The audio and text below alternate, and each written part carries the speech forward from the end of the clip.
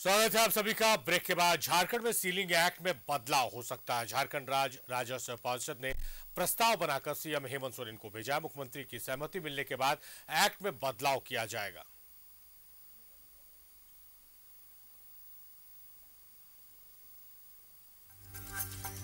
जमींदारी प्रथा के उन्मूलन के बाद 1961 में सीलिंग एक्ट लागू किया गया था।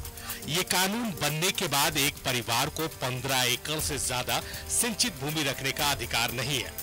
असिंचित भूमि मामले में ये रकबा 18 एकड़ तक बढ़ सकता है। संयुक्त बिहार के समय से ये कानून झारखंड में लागू है, लेकिन इसकी एक धारा बेहद ही परेशान करने वाली है। वो है सीलिंग एक्ट की धारा 16 तीन। इस धारा में संयुक्त परिवार के हिस्से से मिली ज़मीन को परिवार का एक भाई किसी दूसरे को नहीं बेच सकता।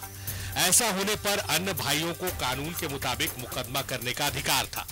अकेले मालिकाना हक में यदि व्यक्ति अपनी ज़मीन किसी थर्ड पर्सन को बेचता है तो पड़ोसी उस पर मुकदमा कर सकता था।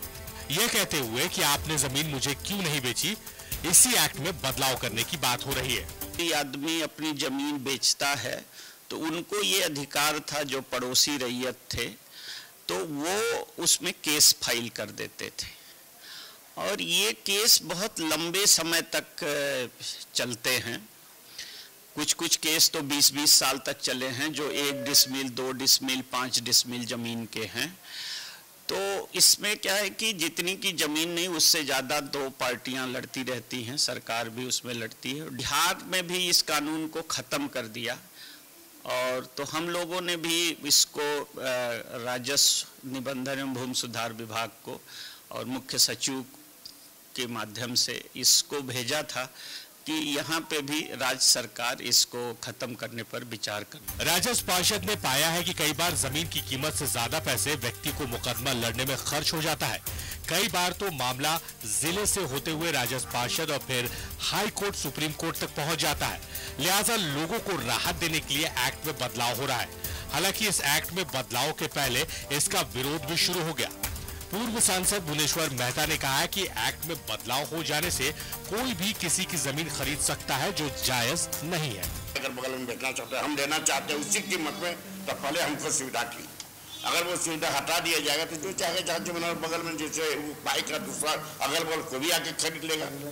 ये हम समझते हैं अच्छा बात नहीं ऐसा नहीं करना पड़ेगा नहीं, और झगड़ा बढ़ेगा, ये बढ़ेगा, इसको नहीं करना चाहिए। जो सीलिंग पहले से, वही रहना चाहिए। सीलिंग एक्ट कानून के कई एक्ट को पड़ोसी राज्य बिहार पहले ही समाप्त कर चुका है, क्योंकि जमींदारी प्रथा पहले खत्म हो चुकी है। लिहाजा लोगों को मुकदमे से बचाने के लिए एक्ट में बदलाव हो रहा है। पाँच लाख की ज़मीन और मुकदमे पर खर्च लगभग पंद्रह लाख रुपया। लिहाजा सीलिंग एक्ट में बदलाव के लिए सरकार से अनुशंसा की गई है। उम्मीद की जा रही है कि लोगों के हित को ध्यान में रखते हुए सरकार राजस्व परिषद की इस अनुशंसा को ज़रूर मानेगी। करमन देवाशीष के साथ अजय लाल, न्यूज़ इलेवन, रांची। तो सीलिंग एक्ट में बदलाव, इस खबर पर हम चर्चा करते हैं। हमारे सहयोगी अजय लाल हमारे साथ लाइव जुड़े हुए अजय, सीलिंग एक्ट की धारा 16 तीन में बदलाव किया जा रहा है। काफ़ी सहूलियत होगी क्योंकि बहुत सारे मामले अभी भी ज़मीन से संबंधित थानों में या न्यायालयों में पेंडिंग है। बिल्कुल सारिफ, देखिए, ज़्यादा दूर नहीं जाए। अकेले रांची जिला के एलआरडीसी कार्यालय में साढ़े चार हज़ार ज़मीन के मामले विवादित हैं। यदि एलआरडीसी रोज़ाना पाँच केस की भी सुनवाई करते हैं तो आप समझ सकते हैं कि पाँच केस गुना तीस दिन एक महीने में डेढ़ सौ केस का निष्पादन होगा। दो महीने में तीन सौ केस का। यानी कि साल भर से ज़्यादा वक्त लगेगा ऐसे मामलों की सुनवाई में। और मामला क्या है कि किसी ने पाँच डिसमिल ज़मीन बेची उनके भाई ने कहा कि मुझे आपने क्यों नहीं बेचा? किसी ने दो डिसमिल ज़मीन बेची पड़ोसी ने कह दिया कि ये ज़मीन सबसे पहले मुझे बेचना चाहिए था क्योंकि नियम ये कहता है सीलिंग एक्ट का नियम ये कहता है। उसी प्रकार से पूरे राज्य में देखेंगे, जो आज राज्य के राजस्व परिषद के सदस्य सचिव से बातचीत हुई, लगभग पूरे राज्य में एक जिला को छोड़ दें, चौबीसों जिला की बात करें तो लगभग सत्रह, अठारह हज़ार से ज़्यादा ऐसे केसेस विभिन्न एलआरडीसी के कार्यालय में लंबित हैं।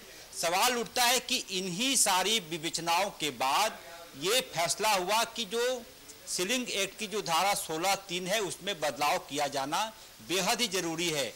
और ये कानून कब से चला आ रहा है? उन्नीस सौ पैंसठ से। यानी कि तब शायद बिहार का भी निर्माण नहीं हुआ था। बिहार तब बंगाल के हिस्से का हुआ करता था। उस वक्त से सब कुछ चला आ रहा है। और ये पूरा का पूरा मामला झारखंड गठन के बाद भी, जब इस कानून की समीक्षा की गई, कई बार हुआ कि सीलिंग एक्ट में संशोधन होगा, गरीबों को इससे फ़ायदा होगा।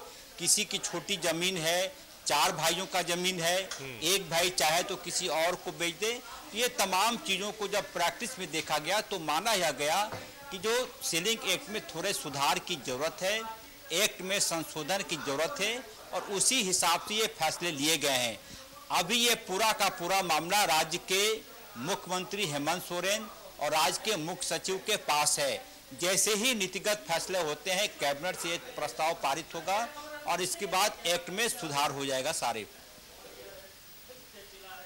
ये इस एक्ट का जो बदलाव आ रहा है उसका विरोध भी शुरू हो गया है। भुवनेश्वर महतो ने इसका विरोध भी किया। क्या आधार है?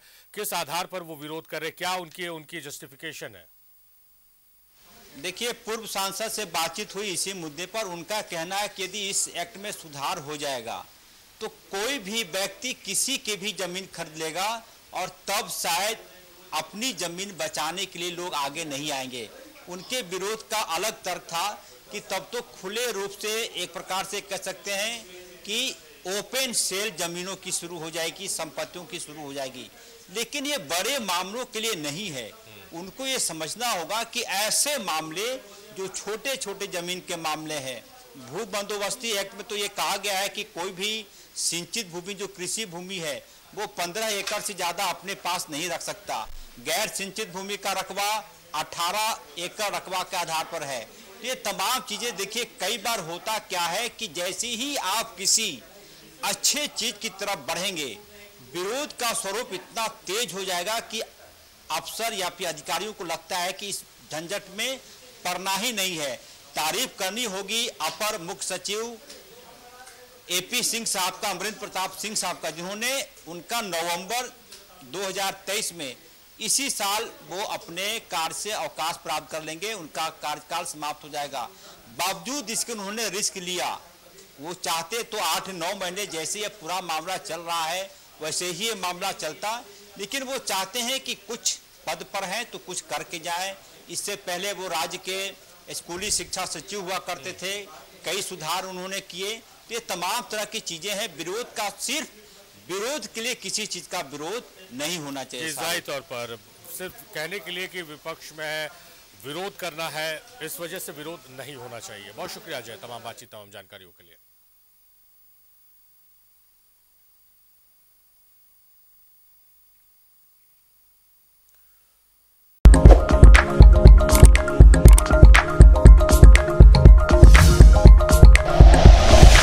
Like and share videos, subscribe करें हमारा चैनल और प्रेस करें बेल आइकॉन न्यूज़ 11 भारत सच है तो दिखेगा।